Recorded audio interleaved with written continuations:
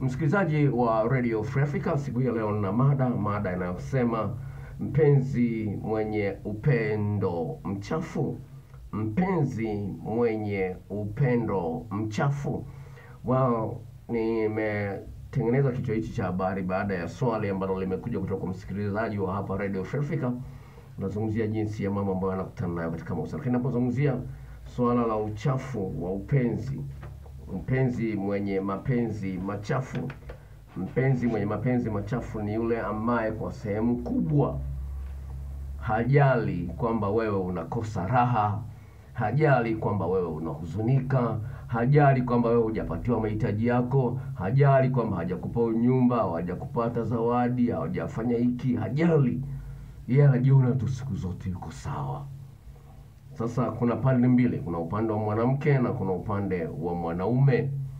Sasa napozungumzia mpenzi mwenye mapenzi yaliyojaa uchafu, naomba ni kuanzie kwa swali ambalo limekuja kwenye kutoka kwa msikilizaji wetu wa hapa Radio Africa. Swali linasema hivi: naitwa Mohamedi, napenda kuuliza dokta, una mpenzi halafu akawa na mwanaume mwingine lakini yuko tayari kukupa mwili wake na kitu chochote kile ambacho unahitaji utatumia na kufanya, na kufanya lolote lile utakalo. Huyo anakuwa na upendo wa kweli au inakuwaje? Sasa swali hili ningekuwa nimelitunga mimi, ungesema ah, daktari umetunga. Lakini hebu fikiria, mwanamke ana mume wake, anasubiri mume wake asafiri ili achepuke. Mwanaume ana mke wake, anachepuka. Haya mambo yapo. Yaani amehalalisha uchepukaji, amehalalisha kutokujali heshima ya uhusiano alionao. Usipojali heshima ya uhusiano ulionao, maana yake wewe mwenyewe ujiheshimu.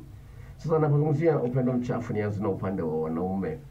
Upande wa wanaume ni swala lile la ubabe, ubabe wa kijinga. Samahani, utanisamehe na kikohozi kidogo, sauti yangu haitoki kama ilivyo kawaida, naomba unisamehe kwa hilo. Unazungumzia ubabe ni kwamba mwanaume anataka yeye analolitaka ndio lifanyike. Sasa kwenye maswali ambayo nitakuwa nayajibu, mwanamke mmoja anaomba kwenda kinyume na maumbile na mume wake. Swali hilo linakuja, ile moja kati ya maswali ambayo nitayajibu hapo mbeleni katika kipindi hiki cha leo. Kwa hiyo unaweza ubabe wa kijinga, yani hakubali makosa yake, sio mwepesi wa kuomba radhi. Huyo ni mwanaume. Sawa, nazungumzia wanaume kwanza. Ubabe wa kijinga, sawa, yani analazimisha lazimisha tu mambo haombi ushauri, hajali mao, maoni ya mwanamke. Huyo ni mwanaume ambaye ana mapenzi machafu, kwa sababu hayo yote niliyozungumza ni kwamba hayachangii kwenye furaha na amani ya mpenzi husika. Ya pili ni usaliti, ambao ndo huyu uh, kaka aliyeleta mada hii anazungumzia usaliti. Usaliti na uongo, uongo ambao uko waziwazi, unajitetea tu ili mradi ufunike dhambi yako. Huo huo ni upe, mapenzi machafu. Sasa hayo sio mapenzi ya kweli. Sawa, kuna Mswahili mmoja akasema hivi kwamba hata maji machafu yanazima moto. Sawa, anasema hata maji machafu yanazima moto. Sasa hilo ni swala lingine, lakini all in all ni kwamba usidhanie kwamba utajifunza kupenda kweli kweli. Utaweza kupenda kweli kweli kama huna nafasi ya wewe kupiga vita uongo, usaliti au babe wa kijinga.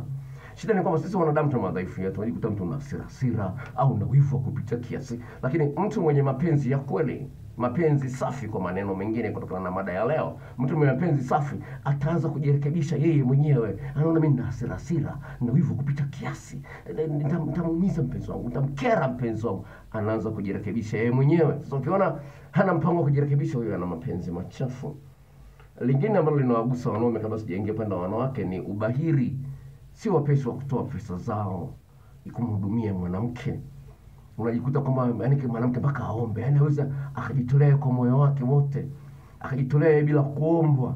Unakuta dada mmoja ananiambia, dokta, nikiomba buku tunaulizwa maswali mengi kweli, buku tunaulizwa maswali kweli ya nini, sijui nini na nini. Huo ndio ubahiri. Sasa so bahiri kama huo of course ufanye. Sasa uh, nimekumbuka story moja ya ya ya ya, ya, ya mwanaume mmoja katika swala lile la ubabe, sawa Huyu dada huyu kaka yuko Msoma, huyu dada yuko Mwanza. Sasa dada ameshamfungia milango mpaka na na kila kitu. Kaka anasema uhusiano ufe, huyu dada amekomaa, uhusiano unakufa. Yule kaka kanisikia redio na kanipigia kanipigia simu, Anambia dokta, mpenzi wangu nampenda kweli, ameniacha, naomba kaongea naye. Kanipa namba yake, nikamwambia ushauri unalipia shilingi elfu tano akaliusha na elfu tano chap chap. Nikaenda dada alikuwa anafanya ofisi fulani ya- maeneo ya Mwaloni, kama anaifahamu Mwanza. Nikawasha gari yangu nikaenda. Yule dada yuko usini, nikamwambia Joto, ngoja ndani ya gari yangu. Sawa? Naongea naye anasema huyu mwanaume ni mbabe sana. Yeye si mwepesi kuomba sana. Mbabe sana. Sasa hii inaleta kero, sawa. Kwa hiyo haya ni mambo makuu. Kuna mengine ndio madogo madogo, lakini haya ni mambo makuu ambayo yanaonyesha kwamba ni mpenzi. Lakini la mwisho ambalo nataka kulizungumzia ni mwanaume ambaye yeye anapenda kufanya tendo la ndoa, lakini hahangaiki kuhakikisha kwamba mwanamke amefika kileleni. Huyu ni mwana naye ana mapenzi machafu. Yaani hakikisha unafanya bidii ya kutosha, mwanamke wako anafika kileleni, anafurahia tendo la ndoa. Inafikia hatua mwanamke anachoka kudanganya, alikuwa anakudanganya kwamba anafika, kumbe afike, anachoka, anaanza kugoma, analala na nguo, hataki, nimechoka bwana, usinishike na nini nini. Sasa wewe umesababisha mwenyewe, umfikishi mwanamke kiloleni. Kwa hiyo hakikisha una, unafahamu kama mwanaume mwanamke ana maeneo kumi na saba katika mwili wake. Maeneo hayo kumi na saba yana misho mingi ya mishipa fahamu lazima ujue jinsi ya kuyahudumia na kumshughulikia ili uweze kumtoa kwenye pointi sifuri mpaka pointi ishirini. Sasa mwanamke alivyo inapaswa mtoe kutoka kutoka kwenye pointi sifuri mpaka kumi na mbili au kumi na tatu au kumi na nne au kumi na tano kabla ya kumwingilia. Sasa unapokuwa umemwingilia zimebakia pointi tano tu za kumfikisha kileleni. Sasa asilimia kubwa ya wanaume kabla hajamfikisha hata pointi kumi ana amemwingilia. Sasa wewe mwenyewe mwanaume una matatizo ya kuwahi kumaliza, utamfikisha mwanamke kileleni. Hayo ni mapenzi machafu. Hakikisha unafanya jitihada za makusudi kuhakikisha mke wako anafurahia tendo la ndoa. Ningie upande wa wanawake. Wanawake kwa sehemu kubwa watakuwa na mapenzi machafu pale ambapo wanakuwa na ubinafsi wa kupita kiasi. Yeye tu nataka apewe zawadi, yeye tu ndo anataka ah, aanzishiwe tendo la ndoa, yeye tu yaani, unakuta asilimia kubwa ya wanawake hawaanzishi tendo la ndoa. Asilimia kubwa ya wanawake, hata kama ana hela hapendi, hawezi akamsaidia aka, akamsaidia mwanaume, hawezi aka- akatumia pesa yake, anataka tu atumie pesa ya mwanaume. Sasa huyo ana mapenzi machafu. Kama mapenzi machafu, endelea naye ukisema mwanamke yani, mwanamke ukimpigia simu tu cha kwanza hela. Yani amjaongea chote imepita hela lakini yeye hakutafuti. Akiwa na shida ndo anakutafuta. Huyo ni mpenzi binafsi ana mapenzi machafu. Sasa so, kama unataka kusema kama unapanga kuendelea endelea naye sasa hilo ni jambo la msingi sana ufahamu kwamba ukiona mwanamke mwenye upenzi binafsi ni hata mwingine mwanamke mwingine vile vile mwenye mapenzi machafu wana wivu wa kupita kiasi. Ndio ubinafsi Unataka kumpa mwenzio huru asiongee na mwanamke mwingine, sijui usiende sana ukachelewa sana. No, unataka kumtawala mwanaume, mwanaume atapingana nawe, atapingana nawe, atakuwa na wewe kero, atakuwa na wewe msigo sawa ya nini unayataka wewe mwenyewe? Hilo la kwanza. La pili ambalo liko kwa wanawake ni ujinga. Sawa? uh, asilimia kubwa ya wanawake of course wangependa waone kwamba mwanaume aliye naye sawa, wanashirikiana kwa kitendo tendo la ndoa katika maeneo mbalimbali. Tendo hilo la ndoa lina mambo makubwa ambayo mwanamke anapaswa ayatawale. Mwanamke lazima ajue kwamba mwanaume ana maeneo kumi na manne katika mwili wake wa, wa, wa mwili wake ili afahamu jinsi ya kumwandaa vizuri maeneo yale kumi na manne. Sasa maeneo yale nyimisho mishipa fahamu kwa mwanamke ajue ajue jinsi ya kuanzisha mikao mbalimbali mikao maalum ambayo itamsaidia mwanaume ajisikie raha kuwa na wewe, apate msuguano mkubwa kwenye dudu lake ili aweze kupofurahia tendo la ndoa.